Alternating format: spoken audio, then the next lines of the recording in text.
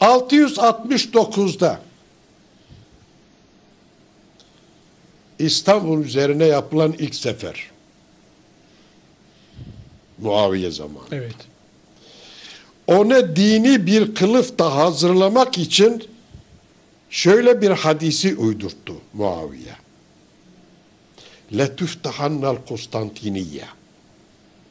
İstanbul mutlaka fethedilecektir. Evet. Onun emiri, kumandanı ne büyük kumandan, ne güzel kumandan. O ordu ne büyük ordu, ne güzel ordu. Onun kumandanı da ne güzel kumandan, ne iyi kumandan. Bu hadisi uydurttu. Meşhur şu e, İstanbul'un fethi hadisi. Evet. Bu hadisi de Muaviye uydurttu. Muaviye uydurdu. Evet.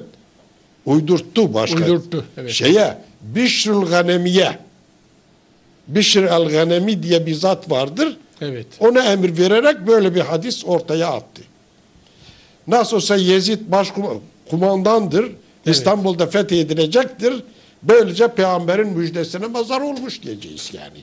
Evet. Daha artık onun halifelik için artık kimse itiraz edemez. Hiçbir mani kalmaz daha. Evet. Bu hadis Bişir el-Ganevi tarafından rivayet edilmiştir. Bişir el-Ganevi kimdir?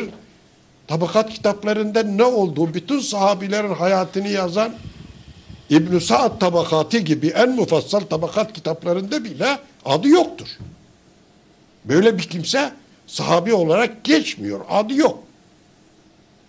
Fakat bu hadisi bazı muhaddisler, hadis alimleri bu hadisi rivayet etmişlerdir. Örneğin Ahmet bin Hanbel müsnedine almıştır bunu. Evet.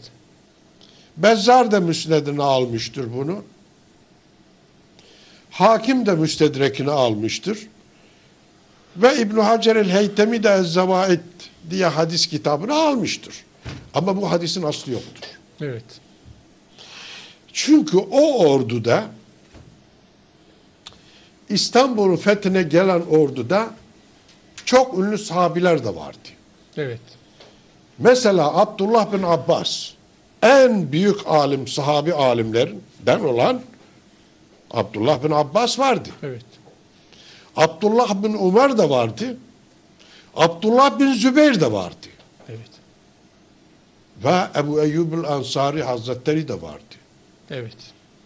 Fakat hiçbirisi bu hadisi Nakletmedi. nakletmiyor. Eğer böyle bir hadis olsaydı bunlar mutlaka En başta onlar naklederdi. onlar naklederdi.